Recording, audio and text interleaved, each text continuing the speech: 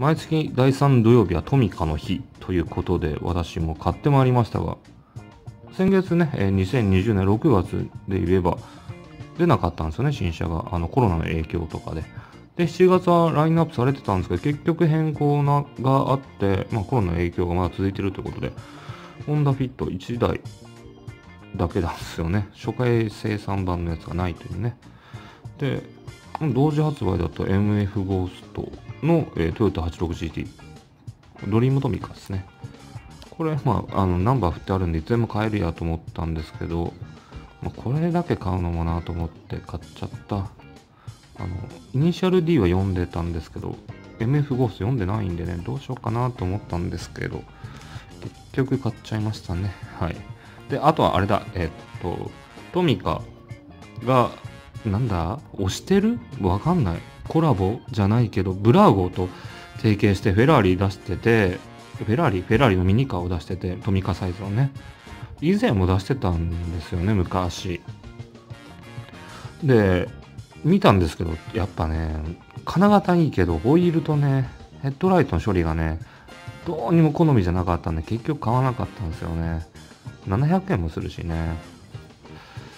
まあいいや。ちょっとこれ開けてみよっか。ね。トミカのシュリンクってうまく剥がせる時と剥がせない時があるんですけど今回のホンダフィットはめっちゃピッとしてたね。全然剥がな剥げらなかったですね。こんな感じね。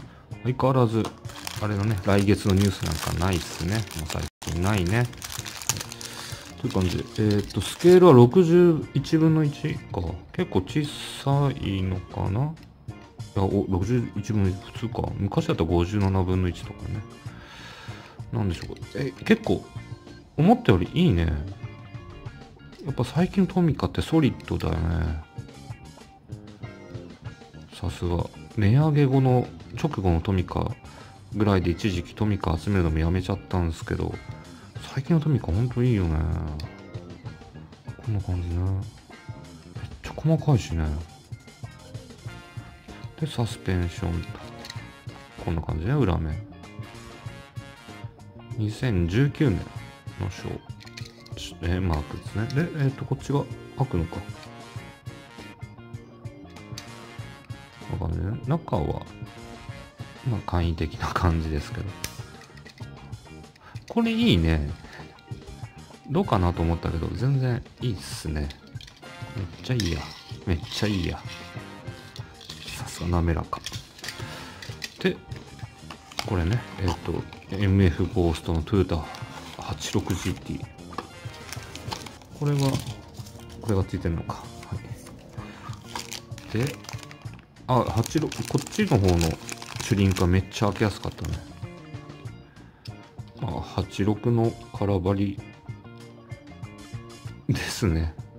特装版とどう違うんだろうね。特装版の方私持ってないんでわかんないですけど。まあかっこいいよね、普通にね。で、サスペンションとドアが開きますよ。ですね。塗って欲しかったな、この辺な。はい。こんな感じね。2012年か。もう結構前になっちゃうね。この86が出たの。って感じでした。はい。こ今月の第3土曜日は、まあ、2台だけですね、買ったのは。まあ、お財布に優しい月でしたかね。はい。っていう感じで、来月どうなるんだろう？あ、そうだそうだそうだそうだ。これさ、こう、なんか、汚れてんじゃんと思って全部これで、これもデザインなんですよね。多分。はい。でした。えー、っと。まあね、7月はこんな感じですけど、8月、どうなるかな？もう、あの、え、第3土曜日ってお盆明けぐらい、お盆ぐらいか。なんでね、めっちゃおもちゃが売れる時期なんで、多分、多分っていうか絶対出してくると思うんですよね。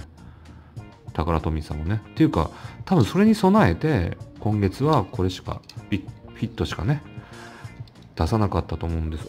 あ、ヘッドライトのとこめっちゃバリがあんな、これ。これ、あれ、あれなんですね。確か、あの、トミカって、あの、が昔からなんですけど、あの、ヘッ、なんだ、えーっと、これね、